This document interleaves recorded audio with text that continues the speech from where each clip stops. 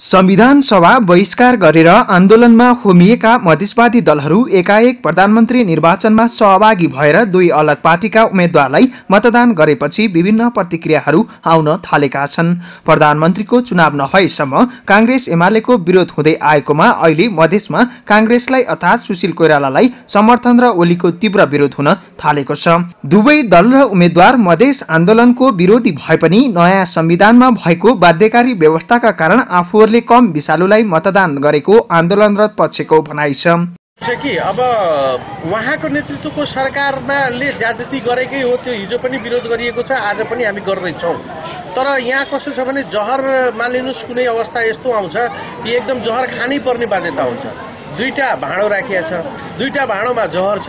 अब खाने मान्छेले के चुज गर्नुपर्छ भने कुन जहरले कम नोक्सान गर्छ र कुन जहरले बढी नोक्सान गर्छ? संविधानमा मधेसको अधिकार सुनिश्चित हुने नदेखिएपछि संविधान सभा नै बहिष्कार गरेर बाहिरिएका मधेसवादी दलका नेताहरू सुशील कोइराला मधेसको मुद्दाको विषयमा लचिलो देखिएकाले समर्थन गरेको बताउँछन्।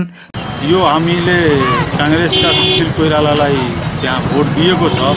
त्यो दिनुको कारण के हो भने यो मधेस आन्दोलनमा जुन हिसाबले केपी ओलीले जुन मधेसीलाई मतलब केही नदिने जुन हिसाबले दमन गर्ने जुन हिसाबले उनीहरूले मधेसलाई मतलब अधिकार दिनबाट वञ्चित गराउने हिसाबले जुन काम गरिरहेको थियो त्यसको विरोधमा संयुक्त लोकतान्त्रिक मधेसी मोर्चाले संसदमा भाग लिएको छ र आउने दिनमा यो जुन जुन मधेस विद्रोह भइरहेको छ यो विद्रोह हाम्रो जारी रहन्छ। फरक फरक मोर्चा बनाएर भए पनि मधेसकै लागि लडिरहेका उपेन्द्र यादव समूह र विजय गच्छेदार समूहले दुई फरक उम्मेद्वारलाई समर्थन गरेपछि मधेसी जनताको मत पनि बाढिएको छ। गच्छेदारले ओलीलाई समर्थन गरेर मधेसलाई धोका दिएको सर्वसाधारणको बुझाइ छ। जे जस्तो भए पनि केपी ओली नै प्रधानमन्त्री निर्वाचित भइसकेको अवस्थामा मधेसी र आन्दोलन र सम्पूर्ण पक्षको माग सम्बोधन गरेर अगाडि बढेमा ओलीलाई तराई मधेसका जनताले साथ र समर्थन दिने उनीहरूको भनाइ छ।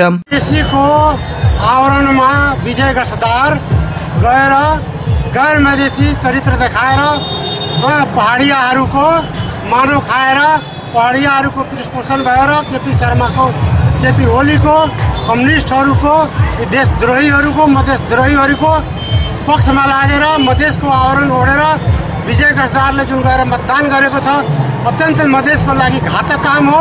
विजय गजदारको लागि अत्यन्त घातक काम हो। पदको लागि प्रधानमन्त्रीको लागि जुन गरेको छ मधेसीको नाममा जुन एउटा ऐतिहासिक भुल गरेको छ घात गरेको छ मधेसद्रोह गरेको छ त्यो निन्दनीय कुरा हो विजय गजदार यता मधेस बन्द लम्बिँदै जाँदा आन्दोलनको स्वरूप पनि फेरिँदै गएको छ।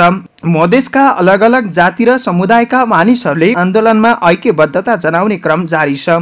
त्यसैले सरकारले मधेसका जायज मागलाई सम्बोधन गरेर आन्दोलनको निकास दिनु जरुरी छ। सगरमाथा टेलिभिजनका लागि पर्साबाट आबिद हुसेनको रिपोर्ट।